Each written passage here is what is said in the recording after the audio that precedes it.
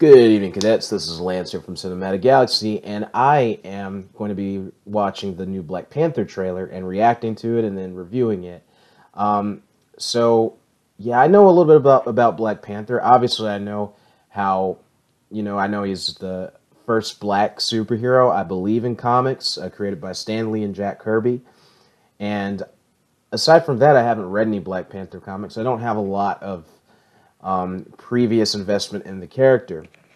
Um, but, you know, before I watch and do my reaction to this trailer, I want to say that as exciting as this is for a lot of us, um, not just black people, but, you know, a bunch of people are excited that we are getting um, a black superhero on film and a big movie coming up. And obviously, I'm thrilled about that as a black man myself. Um, that that's something that's very important to me, and I, you know, I'm going to be happy about that regardless. That being said, um, well, I have a friend. I won't name who it is, but um, a friend who does trailer reactions on YouTube and movie reviews, and and uh, this friend of mine is white, and they didn't love the black, the first Black Panther teaser. And on their reaction, they were attacked and uh, called racist and all that stuff for it. And it's not, you know, they didn't hate the teaser, but they didn't love it. They weren't blown away by it. So I just wanted to leave a, a quick message to say, let's be better than that. You know, if you're watching other reactions and you see a movie reviewer who might be black or white or purple, whatever, um, don't make it a requirement that they love the trailer and that they're going gaga over this movie. I mean, even though this movie is important, even though this movie is going to be big in a lot of ways, it's still a film. You know, it's not it's not life or death. So let's be classy, let's be respectful. I'm going to be honest with you. I wasn't blown away by the first Black Panther trailer. As much as I want to see this film, as much as I want it to be great, as much as I believe it will be great, and I think it will probably be one of the best Marvel films and best superhero films out there. I didn't love the first trailer. I didn't dislike the first trailer. I thought it was perfectly fine, but it didn't blow me away. I mean, I already know I'm seeing this movie, but based on that first trailer, I wasn't floored either. And I'm a black man who obviously has a big investment in what this movie is doing. So, again, don't make it about that. You know, understand that it is a film and people who do trailer reactions and people who review content, they're just going to go off their honest reaction. So, um, so anyway, brief rant aside, I'm about to watch this trailer in three, two, one, now. I have seen gods fly. I've seen men build weapons that I couldn't even imagine. Uh-huh. I've seen aliens. I wonder who that is talking drop from the sky. Yeah. But I have never seen anything like this. How much more are you hiding? Oh, that was Martin Freeman talking. He does a good American accent. We are home. Chadwick Boseman, great actor.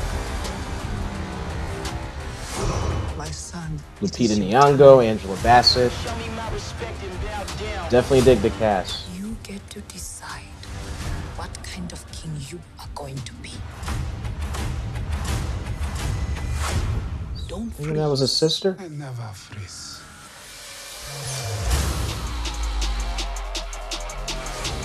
The revolution will not be televised. Michael B. Jordan playing the villain, Andy Serkis.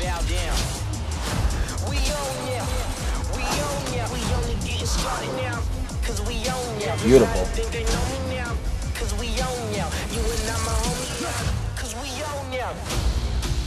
I waited my entire life for this. The world's gonna start over. I'ma burn it all. What happens now determines what happens. Whoa. To the rest of the world. I didn't know he was gonna have a costume in this.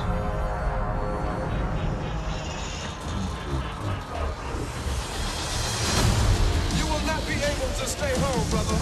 You will not be able to plug in, turn on, and cop out. What forever?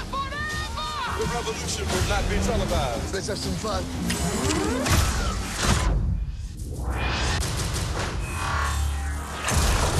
Wow. The revolution will be live. live.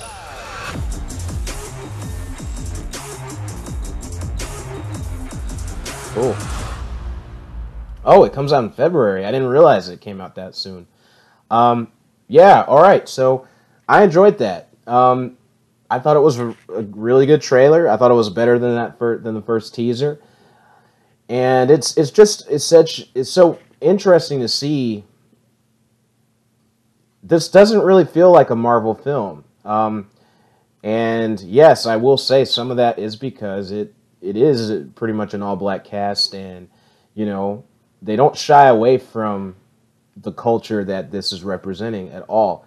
And I think that's cool. Um, I think that's the right move for this film. It'll be definitely be interesting to see how it does box office wise, um, to see who turns out for it. Um, but as far as the story itself, the trailer itself, um, I'm on board. I, I want to see this film. I'm definitely going to see this film. And I don't know a whole ton aside from the obvious things. I don't know a whole ton about the Black Panther character. I know bits and pieces here and there uh, about a suit being made of vibranium, which is the same substance as Captain America's shield. I know that uh, that he's the king of Wakanda, and I know that um, I know what I know about him from Civil War, and I'm not sure if he was in any other Marvel film. I I, I want to say yes, but I don't remember off the top of my head. But look, I mean, the cast looks great. Uh, the visuals are gorgeous. Um, and I'm interested. I'm interested to hear how the score in the film is, if they incorporate any of the music from the trailer into the film, or or if it'll have a more traditional uh, movie superhero movie score. I really don't know, but I'm on board, um, and I'm going to see the film. So let me know what you guys thought of this Black Panther trailer. Anyway, till next time, guys. This is Lance from Cinematic Galaxy signing off.